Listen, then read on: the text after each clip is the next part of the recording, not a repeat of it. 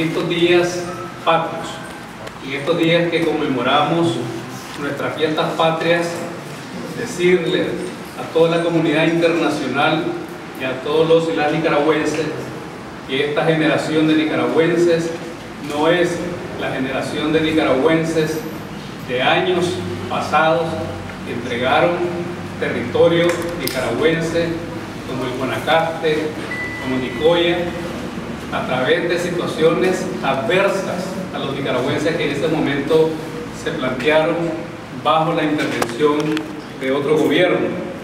Asimismo, eh, insistir que Nicaragua no se le está dando nada, sencillamente estamos recuperando lo que ha sido nuestro y lo que será nuestro en todo lo que es esos espacios eh, marítimos.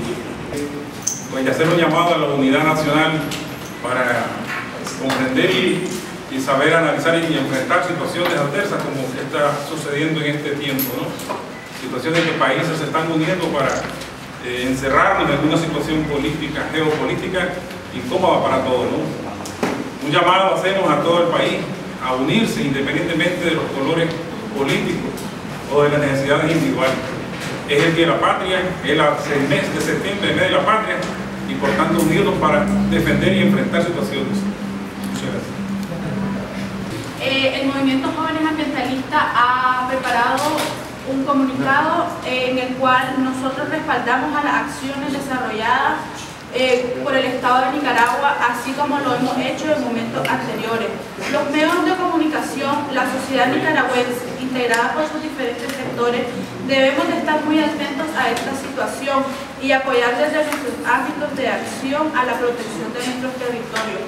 Creo que es muy importante destacar lo, lo expresado por los dos mandatarios en sus últimas declaraciones, en las que han expresado la posibilidad de elaborar un tratado esto crearía una base para la aplicación de la sentencia eh, de la Haya y brindaría la oportunidad de llevar a cabo las acciones de resguardo y protección entre ambos estados.